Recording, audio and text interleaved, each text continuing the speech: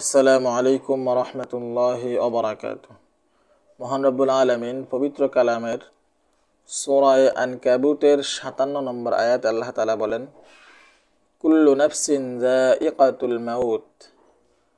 অর্থাৎ প্রত্যেকটা প্রাণীকেই মৃত্যুর স্বাদ গ্রহণ করতে হবে।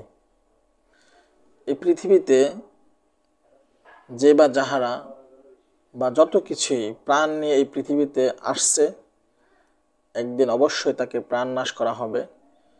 তাকে মৃত্যুর স্বাদ গ্রহণ করতে হবে। সবাই মৃত্যুবরণ করব। আপনিও করবেন, আমিও করব। এটা একটা চরম সত্য। রসুল আকরাম সাল আলহি ওসাল্লাম হাদিসে পাকের মধ্যে বলেন, যে মানুষ মৃত্যুবরণ করার সঙ্গে সঙ্গে তার সকল আমলের দরজা বন্ধ হয়ে যায়।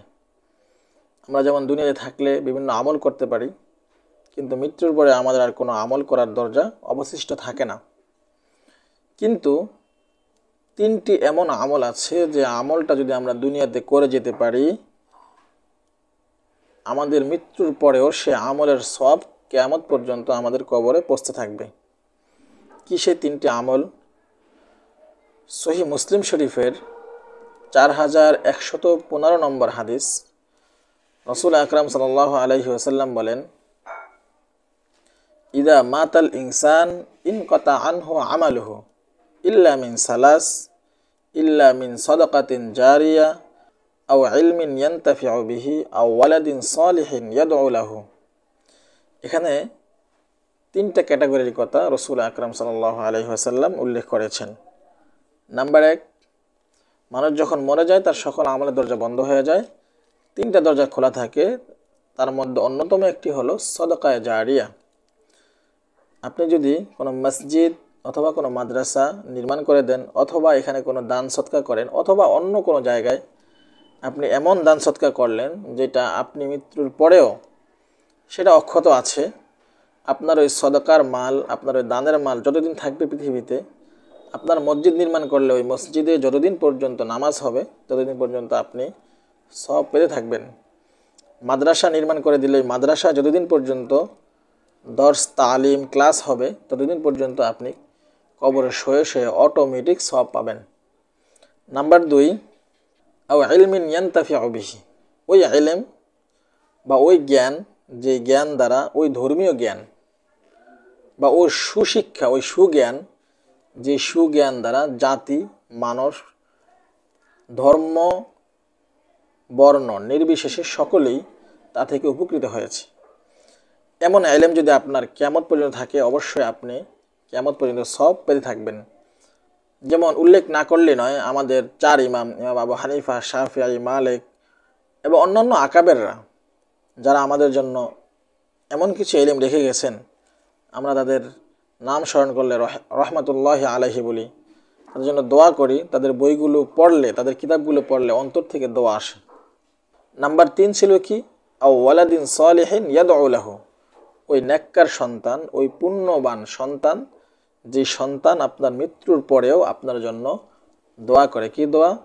রব্বির হাম হুমা কামা রব্বায়ানি সগিরা।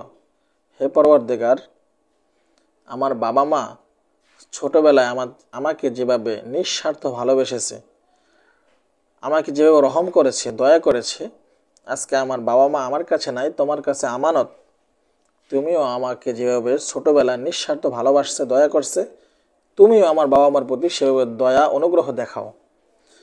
হাদিসের মধ্যে আছে, কোনো সন্তান যখন তার বাবা মার জন্য দোয়া করে, এই দোয়াটা মুস্তা যা আবুদ দাওয়াত দোয়া করতে দেরি, মহান রব্বুল আলমিনের দরবারে কবুল হতে দেরি হয় না।